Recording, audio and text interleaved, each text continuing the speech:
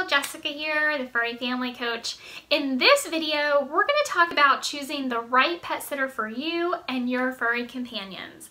And stick around till the end of the video because I have a bonus tip that most people don't ever think about doing. You don't want to miss it.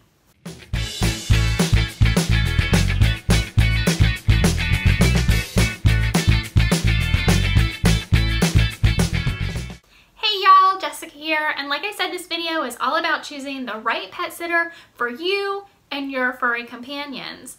I know for me, anytime I have to find a new sitter, whether we move or my current sitter is unavailable, I stress out big time. I mean, no one is to care for my cats and my dog like I do. And that's the first hurdle you have to get over. My husband always tells me if they're being cared for and they're happy, that's all I can ask for. And he's right. I mean, you don't expect your kid sitter to be Mary Poppins, do you? so here are my top tips for picking the right pet sitter for you and your crew. First of all, I always choose a pet sitter over boarding. Why? Primarily because I want my pets to be comfortable and as confident as possible while I'm away, and there's no better way to do that than to control the environment. They shouldn't have to leave home just because you are. Also because there are some pretty shady boarding places out there, and I don't want to take the risk of my pet being neglected or mistreated. The first thing I do when looking for a sitter is ask friends and family, even neighbors, about who they use for their pets.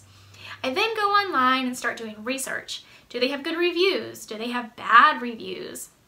I search for local pet sitters online and I also look for their reviews. When I decide on a list to make phone calls, here are the questions I want answered. And if they don't have an answer up front, then they tend to get pushed to my no list. Uh, why do you like pet sitting? That's going to tell you a lot about the person. What exactly is provided in a visit? A 15 minute walk, a 30 minute walk, cleaning litter boxes, feeding meals, giving medication? Do they spend quality time or play time with the pet? Uh, what kind of training do you have? What experience do you have? How long have you been pet sitting? Do you have liability insurance? And what is your emergency plan should my pet need to go to the ER or vet or if my home is evacuated for natural disasters, that kind of thing. You need to be comfortable with all the answers provided to you. And if I have seen any negative reviews or comments online, I like to ask specifically about that situation. Don't be vague, tell them exactly what you read and ask what happened. You can learn a lot about a person from the way they respond to criticism. Don't take this step lightly, it is important. Of course, you'll also want to ask about pricing and availability. Once you've narrowed down your selection, here's the bonus tip that I told you about at the beginning of the video. Once you've narrowed down your selection, invite your selections over to meet your pets. Have a conversation. See how they interact with your pets. See how your pets respond to them. I can learn so much about a person by the way my pets react to them. They know how to tell if a person is good or bad trust them on this. And once you've made a decision, here's the best tip of all. Do a trial run, a single visit or a full day, whatever you think will help you best decide.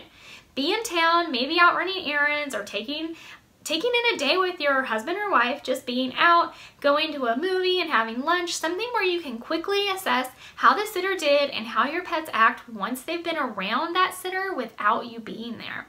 This can make all the difference.